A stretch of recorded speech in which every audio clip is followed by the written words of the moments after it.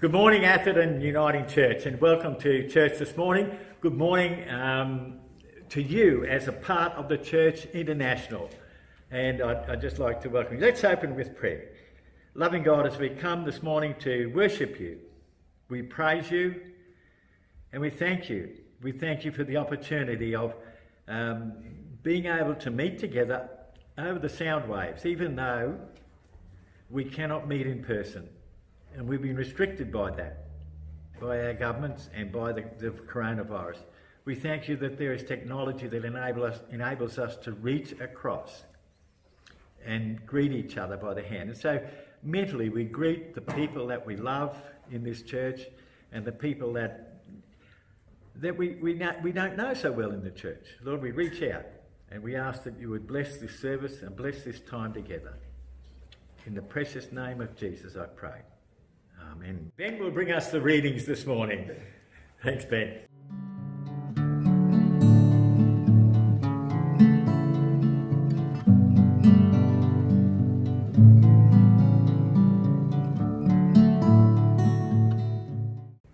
Good morning, everyone, and welcome to Sunday Church. It's a wonderful day, and I just hope you're all well where you are. And today I'll be reading John 17 1 to 11. After Jesus said this, he looked towards heaven and prayed, Father, the time has come. Glorify your Son, that your Son may glorify you. For you granted him authority over all people, that he might give eternal life to all those you have given him. Now this is eternal life, that they may know you, the one and only true God, and Jesus Christ, whom you have sent. I have brought you glory on earth by completing the works you have given me to do. And now, Father, glorify me in your presence with the glory I have with you before the world began. I have revealed you to those whom you have given me out of the world. They were yours. You gave them to me, and they have obeyed your word. Now they know that everything you have given me comes from you, for I give them the words you gave me, and they accepted them. They knew with certainty that I came from you, and they believed that you sent me. I prayed for them. I am not praying for the world, but for those you have given me, for they are yours. All I have is yours, and all that you have is mine. And glory has come to me through them. I will remain in the world no longer, but they are still in the world, and I am coming to you. Holy Father, protect them by the power of your name, the name you have given me, so that they may be one as we are one. This is the word of the Lord. And now I'd like to invite Johnson to come and share with you his message today, and may God bless you all richly. In Jesus' name.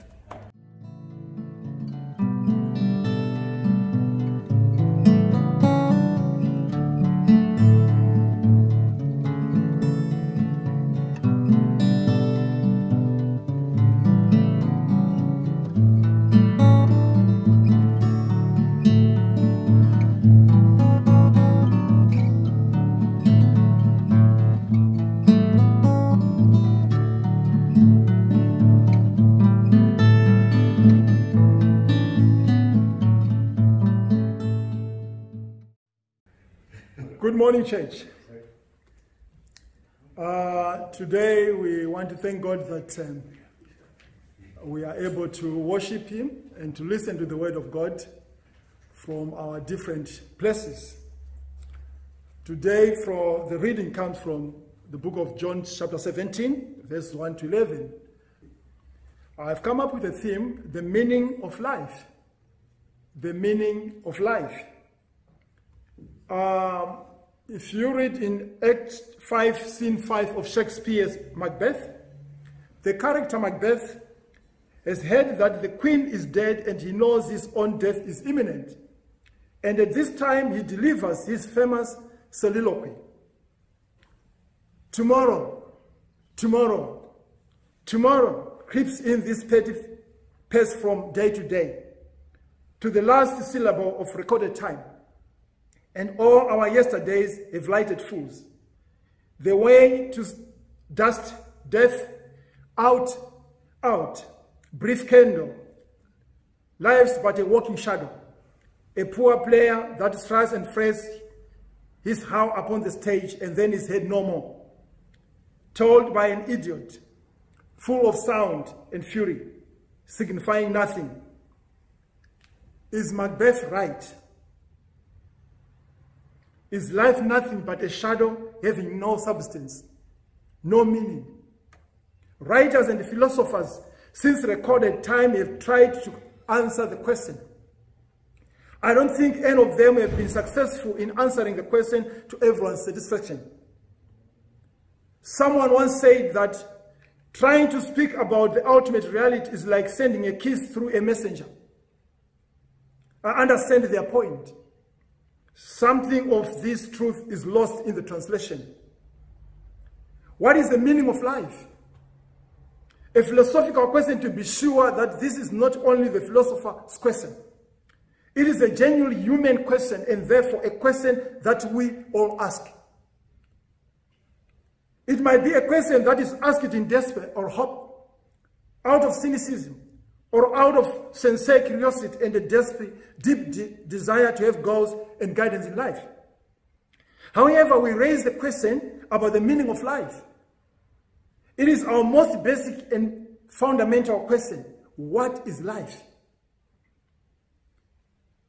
And so it comes as no surprise that Jesus deals with this question and answers it. Surprisingly, the answer is not given in the context of an argument with the Jewish leaders or in a discussion with his disciples. And it is not given in the Sermon on the Mount where Jesus deals with so many fundamental issues.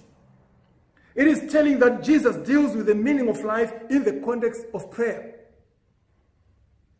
In the context of what has been called by many scholars Jesus' high priestly prayer. The disciples are in the upper room now. They've just finished the Passover meal and Jesus is thinking about this his crucifixion which will occur within the 24 hours.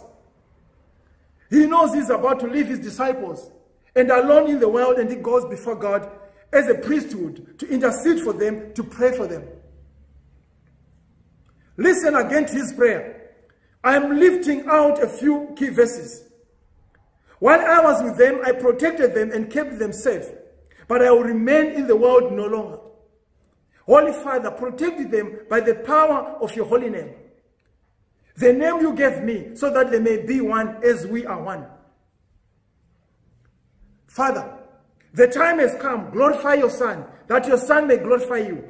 For you granted him authority all over people that he might give eternal life. And this is eternal life, that they may know you, the only true God, and Jesus Christ, whom you have sent. It is in this third verse of John 17, verse 3, that Jesus delivers the meaning of eternal life, and in essence, the meaning of life itself. He says, Now is now this is eternal life that they may know you, the only true God, and Jesus Christ, whom you have sent. Why were you put on this earth? Is my question. Why were you put on this earth? What should be your greatest goal in life? What is the single greatest achievement you could obtain on this earth? What is the secret to eternal life? The answer to all of this question is the same. It is found in two words, knowing God. To know God and to know him fully. The only true God, to know the only true God. In essence, Jesus says the meaning of life is that you have a relationship with God and me, his son, Jesus Christ, and that's the long and short of it. You need to have a relationship with Christ. That is the meaning of life. But Jesus himself understood just how difficult it was going to be, not only for his disciples, but for all of us to come to this very simple realization in life. And so he prays for two key things. First, in order that we might understand the meaning of life. That was his prayer. Second, that is what God wants from you, and for you more anything else in your life. God said in Hosea chapter 6, verse 6, in, um, I would rather for you to be faithful and to know me than to offer us sacrifice. More than your time, more than your talent, more than your treasure, God wants you to know him and to know him personally. God wants to know you, to know him. Today, the popular thing is to know yourself. It's about selfie. It's about me. Find out who you are. Get in touch with your inner feelings. Discover the real you. Let me let you know in a little secret. Unless you get to know God, you never get to know yourself. Romans 8 verse 6 says, Obsession with self in these matters is a dead end. Attention to God leads us out into the open, into a spacious, free life. So Jesus is praying for our protection from the world. We do not need protection from, we do need protection from the world because the world can steal life from us. The day in and day out arduousness and challenges life can be overwhelming. Sometimes life can be just too long, too hard, and too boring, and we can lose our Christian hope and joy and succumb to despair. It's then that we try to find meaning in life in things other than God.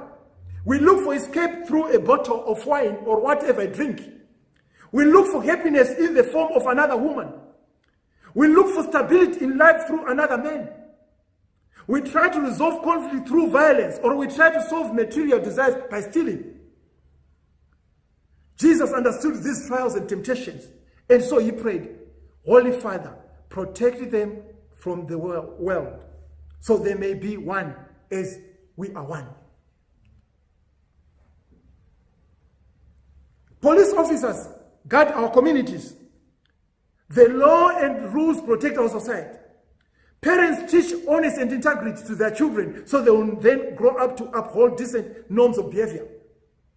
We all need someone to keep us safe. Some of us even need protection from our own fathers or mothers. So why should it surprise us that our souls need to be safeguarded from the corruption of the world? Jesus prayed for his disciples that the Father would protect them and keep them from losing their way in the world. Jesus knew only if God protected them would they be able to discover the ultimate meaning of life. We need a safe environment. I don't think this means make a safe physical and social environment where we are dis distancing ourselves from the coronavirus. But a safe spiritual environment to nurture our commitment to God is also needed. Jesus understood how difficult it was going to be for us to understand the meaning of life. It's difficult because there are so many ways to get lost in the world. But the way is open because God is here to protect us. And that's why he said, protect them, Father. To give our souls the security that we need in order to hear his call and follow. This brings us to the second part of this, his prayer, in order that we might understand the meaning of life. He prays that we might know God. Moses, when he brought down the Ten Commandments from Mount Sinai, he gathered all Israel and he read the commandments before the people. And then he summed up the Ten Commandments in these words. Hear, O Israel, the Lord our God, the Lord is one. Love the Lord your God with all your heart, and with all your soul, and with all your strength. When Jesus was asked by an expert in the law, what is the greatest commandment in all the law? Jesus replied, Love the Lord your God with all your heart and with all your soul and with all your mind. In Matthew 22, verse 37. And on the evening before his crucifixion, Jesus prays. He prays that the disciples will come to know God in a personal way. Actually, Jesus is simply echoing those words of Moses. He's restating the lines in a brief phrase, that they may know you, the only true God that they may know you, the only true God. Jesus isn't talking about knowing God like you know your ABC. Let's not kid ourselves. Gentlemen, when your wife tells you that she wants to know you better, she doesn't mean your shoe size. She's talking about an intimacy. She wants to know you personally. That's what Jesus is praying for. And I want to tell you, how hard this is. It's hard enough to let our family in door of our house and let alone God. And yet that is what is being asked of you. I tell you, this is the only way to find meaning in life. To know God personally. And that's the only way your children, your grandchildren, will find meaning in their lives. When Moses read of all Israel the Ten Commandments and summed up by saying, Love God with all your heart, he added something very important. Teach these commands to your children. When it comes to knowing God, there are four group of people in this world, and maybe four are in this congregation, maybe today. Or they're also listening to what I'm saying. There are people who don't know God, and they know they don't know God. They would make no pretense about it. They either don't believe in God or they believe in God, but don't acknowledge a personal relationship with Him and have no desire to have a personal relationship with God. Those are the first group of people. The second one, there are people who don't know God, but they think they do. This includes a lot of religious people, a lot of people who regularly attend church and they honestly think that they know God, but they really don't know God. The third group, there are people who know God, but they are not sure they know God. I've met a lot of these people who really do know God, perhaps not as well as they should. But they know Him, but they are just not sure that they have a personal relationship with Him. The fourth one, there are people who know God and they know they know God. There are people who know God and have a deep personal relationship with God, and you would never, ever, ever able to convince them otherwise. You cannot change them because they know God. Even what is being said in the world, even the philosophy, what is being said in the world, they don't listen to that because they know God. They've got a personal relationship with God. The Apostle John referred to these types of people when he said in verse 3, in 1 John 2 verse 3, now by this we know that we know him. We know that we know him. We know that he lives. The Apostle John said it is possible not only to know God, but to know that you know the true God. Do you know that you can know the true God? Do you know that you can know that you know the true God? I would like to make three simple statements that can transform your life and can totally transform how you see your relationship with God. Listen again to verse 3. We know that we have come to know him if we obey his commands. Let those two statements sink. You can know God. You can know that you know God. You can know that you've got a relationship with God. The very reason that Jesus came to this earth is so that you and I could know God and become God's friend. The Bible says, now we can rejoice in our wonderful new relationship with God. All because of what our Lord Jesus Christ has done for us in making us friends with God. Romans 5 verse 11. So we become friends with God. We may know that. Think about that. You can know God to such an extent that you, you and He are the best friends. God wants to be your best friends. He wants you to be His best friend. This is not only why Jesus came, it is why God sent Jesus. So that you can become God's best friend. All this is done by God through whom Christ changed us from enemies into his friends. 1 Corinthians 5 verse 18. Can you think of a greater privilege in this life than becoming a friend of God? That is why I say to you equivocally, life's greatest privilege ever is knowing God. You need to know God in your life. You know you can learn a lot about people by what they brag about. I want you to listen to what God himself said that you ought to brag about. This is what the Lord says in Jeremiah 9 verse 23 and 24.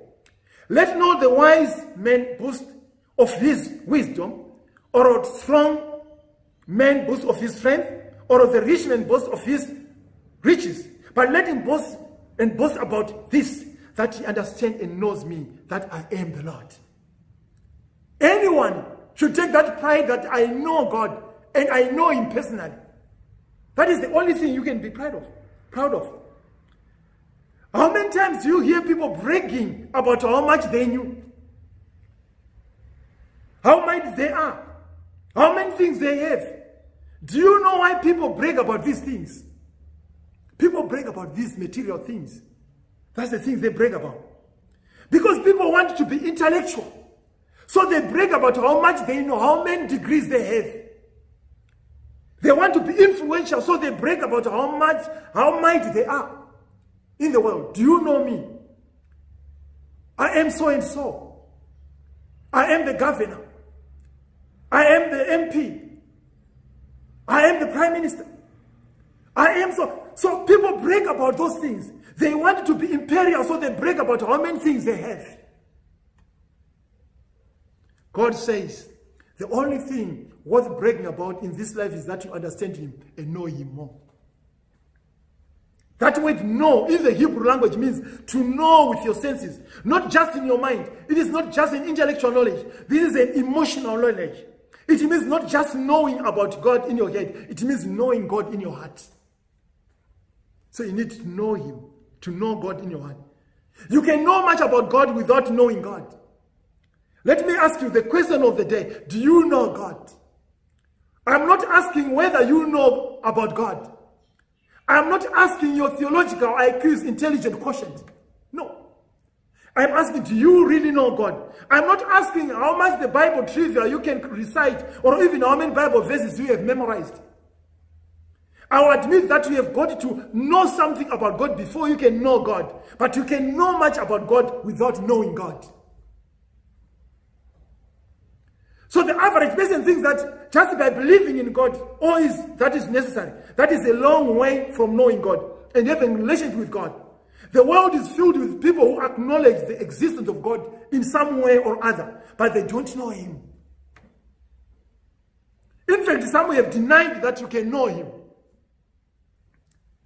Read a, a lot of, I've read a lot of books. There are people who have denied that God, you cannot know God. They even denied that God does not exist. Not only those who have written books or who have died, but even some people who are living today, whom I know, who profess that God doesn't exist. One of the things you ought to pray for is that you would grow in your knowledge of God. Paul said in Ephesians 1 verse 17 that we ought to be asking God, the glorious Father of our Lord Jesus Christ, to give you spiritual wisdom and understanding so that you might grow in your knowledge of God. Meaning that you need to know God more fully, more personal. You never really know somebody until you either marry them or live with them. The more time you spend with someone, the more you get to know them and the better you get to know them. The same thing is true with God. You can grow in knowledge of God you ought to know God better today than you knew him yesterday. And better to know tomorrow than you knew him today. I want to share with you three practical steps you can take to grow in your knowledge of God. First of all, practice God's presence. Two, train your mind to remember God's consistency. Three, maintain continuous contact with Him. In 1 Thessalonians 5 verse 17 says, pray all the time. In 1 Thessalonians 5 verse 17, ponder God's principles. If you really want to grow in your knowledge of God, you have to get as deeply as you can into the Bible. You need to read the Bible. It becomes your food, your daily food, your daily devotion. The more you know that God says, the more you hear what God wants. The more you hear what God wants, the better you are able to carry out his will. The better you are able to carry out his will, the closer you will get to him. The closer you get to him, the better you will know him. So you need to be closer to God. I hope I've given you a thirst and a hunger to really know God. If I haven't yet, maybe this statement will. Knowing God is not only the key to eternal life, it is the essence of eternal life. John 17 verse 3 says, Eternal life is to know you, the only true God and to know Jesus Christ, the one you sent. So we need to know the only true God. That is eternal life. That is why I can say to you today, there is nothing, and I mean absolutely nothing more important than knowing God. Only those who know God will enjoy eternal life in heaven. The apostle God made a state, the apostle of God, uh, Paul, made a statement to Timon that says it all. Some of these People have missed the most important thing in life and they don't know God. In 1 Timothy chapter 6 verse 21. Did you know that you can know God? Did you know that you can know that you do not know God? you can know him through knowing his son, Jesus Christ, and you can know that you know him through obeying his commands. And there's nothing more important than that. God gives us protection, and he desires that you have a personal relationship with him. I am not speaking primarily to the lost this morning. I am talking to the Christian community. Remember that Jesus' prayer was for his disciples. Those who had already walked with him for three years, we have a need to deepen our relationship with God. We need to come closer to God. Jesus prays that we might do so. Will you pray that you might come to know God more deeply so that you can be one even as Jesus and the Father are one? Hear, all Christian, instead of hear, all Israel, I'm now going to say, Hear, all Christian, the Lord our God is one Lord. And you shall love the Lord your God with all your heart, and with your soul, and with all your might. May the good Lord bless you. May the good Lord help you to have that relationship with God. That knowledge of knowing that I'm so close to God. You can know it. You need that close relationship with God. May the good Lord bless you from today and onwards. Amen. Let us pray. Heavenly Father, bless us this morning as we are gathered before your throne, as we are gathered in our different places. Father, we come before you. We want to know you, to know you better. We want to have that close relationship. We want to come closer to you. Father, help us. Yes, sometimes we are weak. We are challenged by things that happen in the world. It could be the coronavirus. These are some of the challenges. But all these challenges, this is not the first one. There are so many challenges which are there in this world. And they come and go. Father, we pray that even this coronavirus is going to go. It's not going to stay. We pray that, Lord Jesus Christ, as we continue to know you, we have that close relationship with you. That we are able to remain in you and you in us. Thank you, Father, for this wonderful opportunity that you have given us. This close relationship you have given us, that we may come to know you. In Jesus' name, Amen. Thanks. I would just encourage you to um, to spend the time with the offering and think of your offering, but not just offering of money and, and that, but offering of all of your talents and your abilities. I worked out the other day if we tied our time, it'd be 2.4 hours a day, and uh, and and some of myself included, only for him to spend a fraction of that time. And maybe let's use this time to spend time with God. Let's pray. Loving God, we thank you for to accept what we give you. We thank you that you use not only our gifts, but you use us if we freely offer ourselves. So we give to you what is really yours, and we ask that you would bless in Jesus' name. And we also ask that that which we have kept behind, the money which we've kept behind, that we would be wise stewards of how we spend our money on ourselves. We pray this in Jesus' name. Amen. Let us receive grace. May the grace of our Lord Jesus Christ, the love of God, and the fellowship of the Holy Spirit be with us all from now and evermore. Amen.